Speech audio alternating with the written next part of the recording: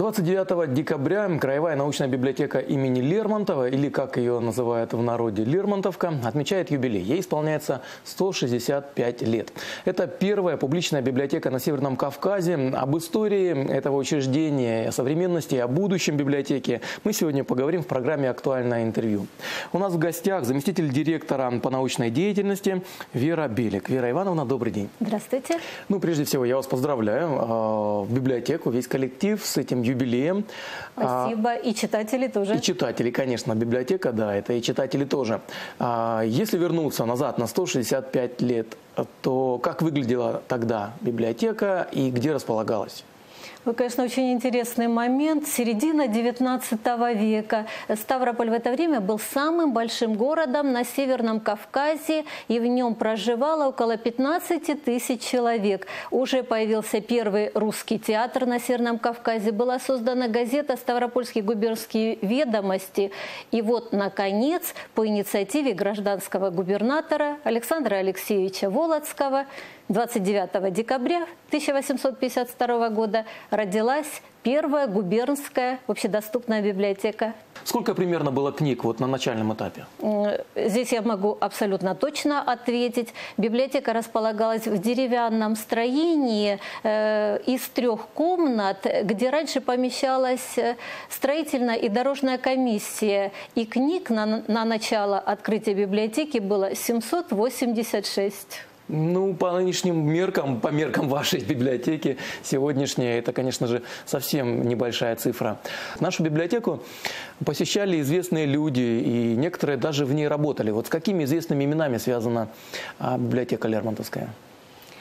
Э, наверное, из самых известных стоит отметить э, писателя-просветителя Костахи Тагурова, который более 20 лет был читателем нашей библиотеки. А из известных библиотекарей это, безусловно, Герман Александрович Лопатин. Э, когда он был в ссылке в Ставрополе, то какое-то время он работал в библиотеке и даже вводил прогрессивные нововведения. Так он впервые привлек женщин к труду в библиотеке библиотеке. До этого должность была мужской.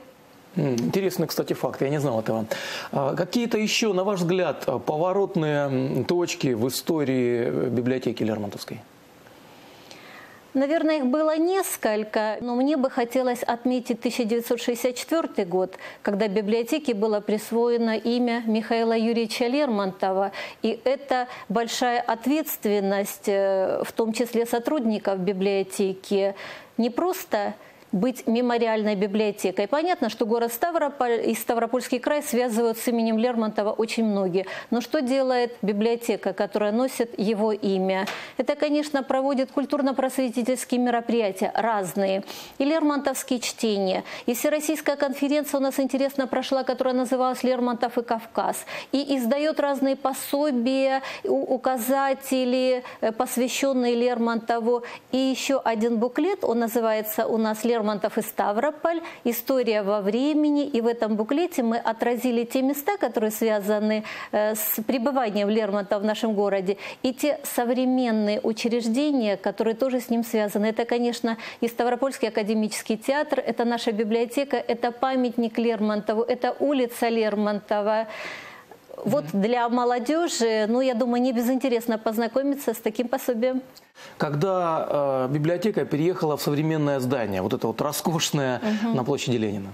1955 год. Когда мы читаем страницы истории нашей библиотеки, то, конечно, каждый раз удивляемся. Немного времени прошло после окончания Великой Отечественной войны и в начале 50-х годов, когда проектировалось вот это потрясающее здание с 11-метровыми колоннами, с лепниной, с большим читальным залом. И это здание было первым на современной площади Ленина. 55 год. Не могу не спросить, Зная, что уже несколько лет идет реконструкция этого э, главного здания, когда все-таки мы сможем зайти в краевую библиотеку через центральный вход? Конечно, реконструкция была нужна, потому что с 1955 года прошло много времени. Наше здание – это памятник истории и культуры регионального значения. И вот на настоящий момент рассматривается несколько вариантов завершения реконструкции. И я думаю, что мы можем надеяться, что в 2018 году мы уже будем принимать читателей в двух зданиях одновременно. Ну, я тоже на это надеюсь. А скажите, вообще с развитием э, телекоммуникаций, стремительным таким развитием в последние годы, я бы сказал, книга, а вместе с ней и библиотечная система, не уходят ли они на этом фоне на второй или даже третий план? Вот в деле передачи информации, хранения ее, получения информации. Вот я бы хотела начать с последнего исследования, которое провел Всероссийский центр изучения общественного мнения. Буквально в начале декабря были опубликованы цифры, что 60% россиян читают но, конечно, не 60%, не все они ходят в библиотеки. Кто-то пользуется электронными книгами, кто-то ну, читает да. книги из домашних библиотек. Возможностей много. Ну и, конечно, и на примере своих читателей мы тоже можем сказать, что такие толпы, как были на рубеже 20-21 века, у нас сейчас нет. Но и время поменялось. Мы теперь употребляем два термина. Первое – это читатели, которые приходят в библиотеку. И второе – это пользователи, которые пользуются, пользуются электронными книгами. А у вас на сайте, насколько я понимаю, есть возможность а, а, получить доступ к вашим электронным ресурсам, да? А в нашей библиотеке есть разные возможности. Но сначала, наверное, можно сказать о том, что сама библиотека в течение ряда лет формирует электронную библиотеку под названием «Память Ставрополя».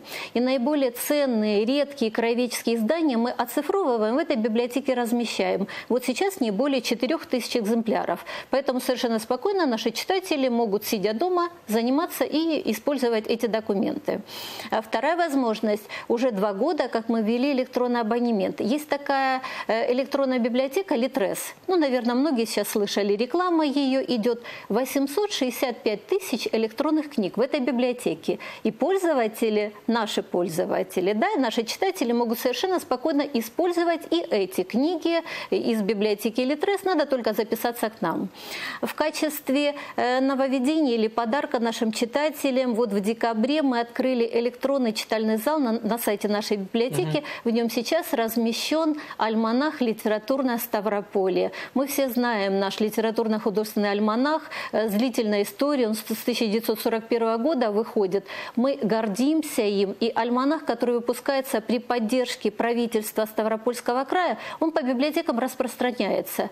Но теперь можно читать его еще и в электронном виде э, в удобном э, режиме, не выходя из дома mm или в транспорте. Вот вы немного коснулись темы краеведения. Правильно ли я понимаю, что для краевой библиотеки эта тема одна из э, ключевых? Конечно, приоритеты в деятельности нашей библиотеки – это краеведение. Это, конечно, э, формирование фонда краеведческих изданий. И кроме той литературы, которая издается на территории края, наши краеведы внимательно отслеживают, где еще в Российской Федерации э, в книгах есть упоминание о Ставропольском крае. Мы стараемся и эти книги тоже приобрести.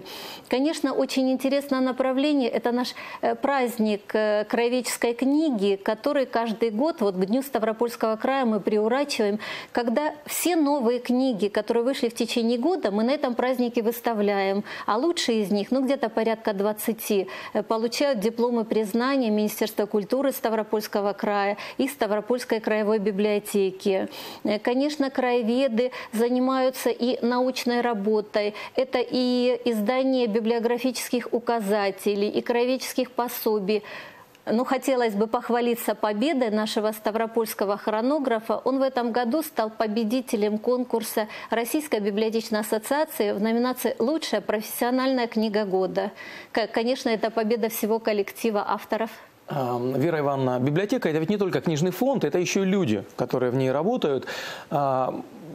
Не хочу никого обидеть, но мне кажется, профессия библиотекаря в современном мире, ну, не самая, наверное, престижная, не самая, уж точно не самая модная, да.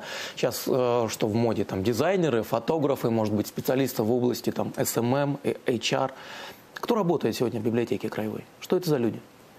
135 человек – это коллектив библиотеки. И А как о коллективе, так и об отдельных людях я могла бы говорить очень много. Безусловно, это директор, который возглавляет библиотеку, заслуженный работник культуры Российской Федерации Зинаида Федоровна Долина. Это ветераны. Э, порядка 15 человек у нас в библиотеке работает больше 30 лет. И это люди, которые хорошо знают работу и которые передают опыт. А из молодежи э, это практика последних лет. К нам стали, э, стала приходить молодежь, молодое поколение, причем приходят с разными э, квалификациями, с разными профессиями. Но тот, кто остается, это и иностранные языки, и э, взаимодействие с общественностью, и пиар-деятельность, и журналисты. Но вот тот, кто приживается, так, потом получает второе образование библиотечное, и это, конечно, очень приятно. Где получают профессию библиотекарей?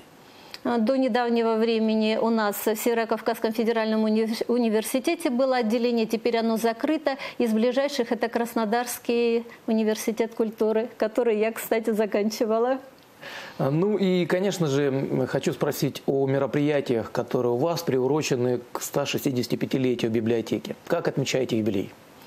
Э, юбилей мы решили отметить не просто торжественным мероприятием. Понятно, что хочется пригласить и почетных гостей, и наших читателей, и хочется и самим что-то сказать, и услышать хорошие слова. И поэтому мы решили провести комплекс мероприятий. Он состоит из трех встреч. Это публичный отчет перед населением под названием «Есть такая библиотека». Он состоялся в середине декабря. У нас прошли межрегиональные профессиональные дебаты, региональная литература как гуманитарный сегмент культурного пространства Северного Кавказа. И не случайно с таким названием э, в этой встрече приняли э, участие и представители национальных библиотек Северо-Кавказского федерального округа. И, конечно, торжественное мероприятие, посвященное нашему 165-летию. Это э, вечер Лермонтовка «Путь сквозь время».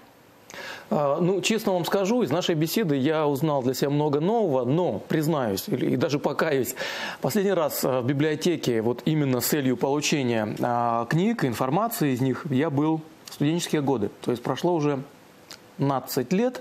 А, Приглашаем. Да, абонемент можно восстановить или надо по новой записываться? Что делать мне? Э, выписывают новый читательский билет, никаких сложностей здесь нет. Для жителей города Ставрополя нужен паспорт и маленькая фотография, потому что у них есть возможность взять книги на дом. А для тех, кто у нас приезжий, просто паспорт. И они э, пользуются всеми, всеми возможностями, всеми документами нашей библиотеки. А ведь кроме того, что у нас книги, э, библиотека несколько трансформируется, и сейчас библиотека звучит как интеллектуально-досуговый центр. И нельзя об этом не сказать. Мы проводим огромное количество очень интересных мероприятий, как в стенах библиотеки, так и на открытом пространстве. Очень приятно, что в них принимают участие разные социальные слои населения и разные возрасты. Я знаю, что есть при библиотеке э, определенные тематические клубы да, по угу. интересам. Вот несколько направлений можете перечислить? Один из, наверное, из долгожителей – это клуб «Беседы о кино», его ведущий Геннадий Николаевич Хазанов, угу. и, безусловно, его знают, да, очень многие. Конечно. Клуб «Беседы с искусствоведом» Ольгой Борисовной Бендюк, совершенно потрясающий клуб. Творческая лаборатория «Журналистское мастерство плюс», которую ведет э, известный в крае и не только э, журналист Ольга Ивановна Лепилкина. У нас есть клуб «Садовод», у нас есть клуб интеллектуальных настольных игр – много разных, угу. но я надеюсь, что тот, тот читатель, который приходит к нам, находит для себя занятия по интересам. Ну, главное, что я для себя сегодня понял, что библиотека – это давно уже не то место, где просто на полках стоят книги. Это, ну, в определенном, как вы сказали, в определенном смысле некий досуговый центр, да, можно и так, наверное, назвать. Конечно, трансформация произошла, да, и надо прийти в библиотеку, чтобы познакомиться с ее возможностями. Прежде всего прийти. Хорошо, я так точно приду. Еще раз поздравляю и вас, и руководство библиотеки, и сотрудников, и читателей с этим юбилеем. А, разумеется, он не последний, потому что библиотека по-прежнему востребована. Спасибо большое. А, еще раз благодарю вас за интересную беседу. Поздравляю с юбилеем. Это была программа «Актуальное интервью». Оставайтесь на своем.